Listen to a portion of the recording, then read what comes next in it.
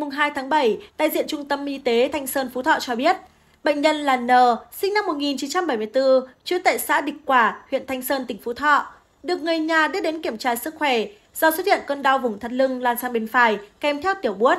Kết quả phim chụp chiếu cho thấy ấu trùng sán giải rác khắp cơ thể của người bệnh như não, ngực, tay chân với đường kính 3 5 mm. Ngoài ra, bệnh nhân bị giãn đai bể thận niệu quản phải, ra sỏi niệu quản, sỏi ở hai thận, sỏi túi mật, thoát vị bẹn phải, gây đau lưng. Người bệnh cho biết thích và thường xuyên ăn thịt lợn tái, tiết canh nem chua, gỏi. Bác sĩ phỏng đoán đây là nguyên nhân bệnh nhân bị nhiễm sán. Hiện tại, bệnh nhân đang được điều trị tại khoa ngoại tổng hợp, sức khỏe tạm thời ổn định. Theo các bác sĩ, bệnh về ký sinh trùng thường diễn ra âm thầm. Không ít người khi sức khỏe yếu kém, có lúc lên cơn co giật mới đi khám và được chẩn đoán nhầm là động kinh, tai biến. Lúc phát hiện ra ký sinh trùng thì chúng đã tấn công lên não, gây ra di chứng kéo dài. Bệnh sán gây ra những triệu chứng về hệ thần kinh như sốt, đau đầu, chóng mặt, lên cơn co giật như suy bọt mép, giảm trí nhớ, liệt dây thần kinh số 7, liệt nửa người. Rất nhiều người bị tiêu chảy, nổi bẩn ngứa khắp cơ thể, nổi u cục dưới da, nổi u trong lâm tổ ở trong đáy mắt sẽ gây ra mù mắt. Theo các bác sĩ, 99% trường hợp mắc bệnh run sán đều do thói quen ăn uống, thức ăn chưa được nấu chín kỹ hoặc không hợp vệ sinh, có chứa trứng hoặc ấu trùng của trứng sán. Số ít còn lại có thể gây ra nhiễm sán qua thói quen đi chân trần. Bệnh nhiễm run sán là một vấn đề nghiêm trọng cho sức khỏe cộng đồng.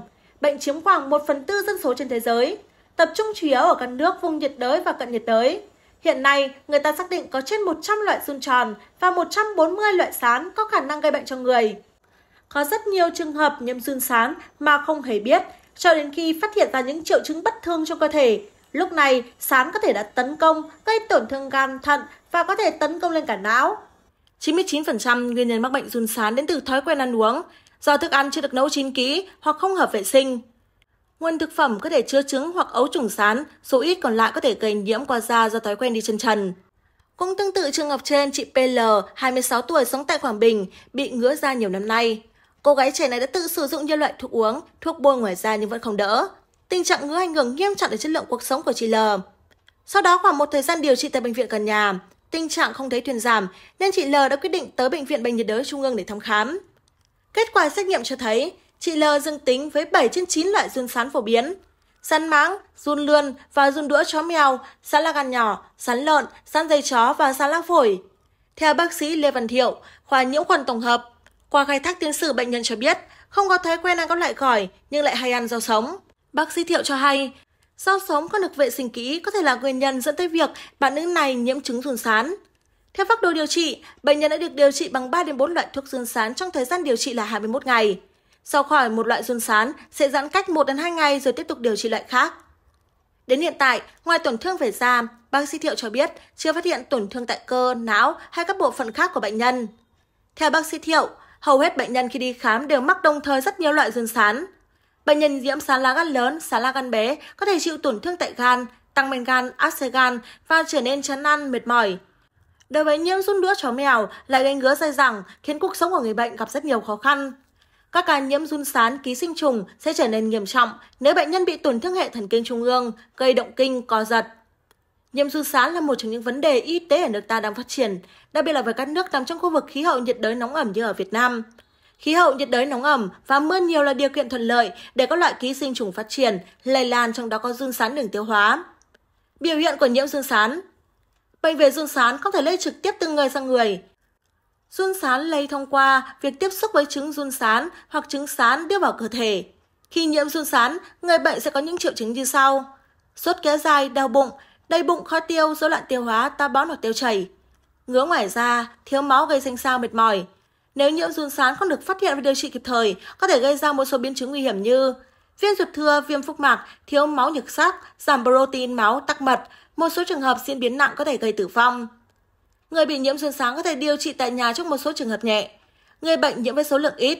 Tuy nhiên, khi có những biểu hiện nêu trên không cải thiện, người bệnh cần phải đến ngay cơ sở y tế để được thăm khám, tìm ra loại run sán bị nhiễm.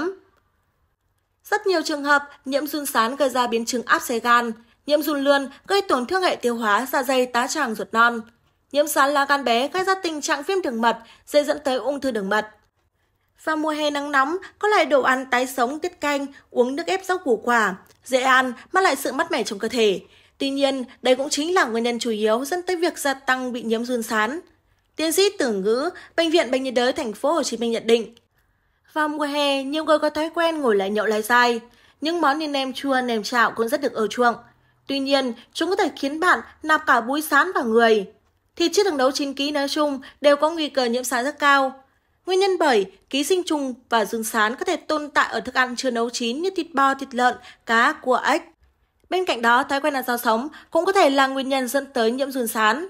Theo thống kê, chỉ trong 3 tháng đầu năm nay, tại bệnh viện nhiệt đới thành phố Hồ Chí Minh đã tiếp nhận 172 ca bệnh áp xe do sán lá gan lớn.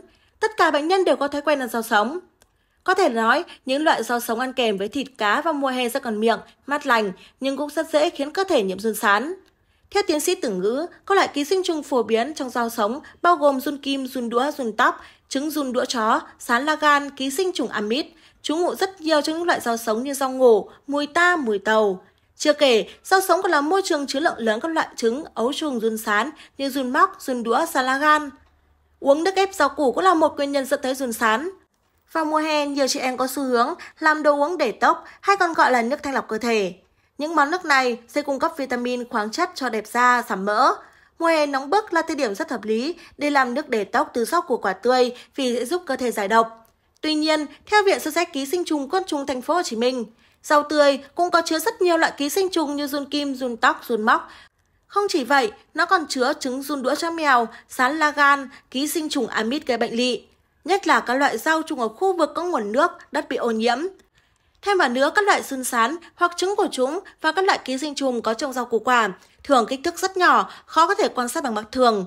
Do đó, nếu bạn sơ chế không sạch sẽ, nguồn thực phẩm kém chất lượng, run sán rất dễ xâm nhập vào cơ thể khi bạn uống nước ép hoặc ăn sống.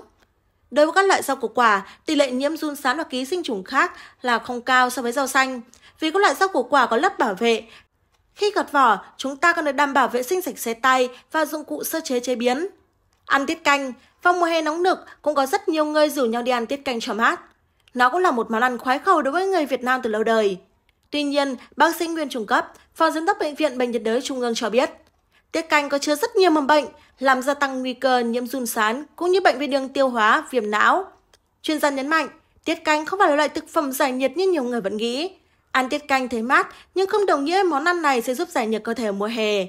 Tất cả những loại tiết canh như tiết canh lợn, dê, vịt, thực chất đều là máu sống, tiềm ẩn rất nhiều mầm bệnh nguy hiểm. Nhiều người cho rằng ăn tiết canh nhà nuôi tự làm không bị nhiễm sán thì quá sai lầm. Trong thực tế, bệnh viện đã tiếp nhận rất nhiều trường hợp bệnh nhân nhiễm các loại ký sinh trùng và có tổn thương ở não. Vậy, phòng bệnh run sán như thế nào? Theo các chuyên gia, cần phải tẩy run định kỳ 6 tháng một lần ở trẻ em và người lớn. Sử dụng các loại thuốc tẩy run theo hướng dẫn của bác sĩ. Rửa tay thường xuyên khi ăn và sau khi đi vệ sinh. Giữ gìn vệ sinh cá nhân như cắt móng tay, móng chân. Cần phải thực hiện ăn chín uống sôi, rau sống cần phải rửa sạch ngâm nước muối trước khi ăn. Đi giày dép găng tay khi tiếp xúc với đất bẩn. Vệ sinh môi trường xung quanh luôn sạch sẽ và thoáng mát.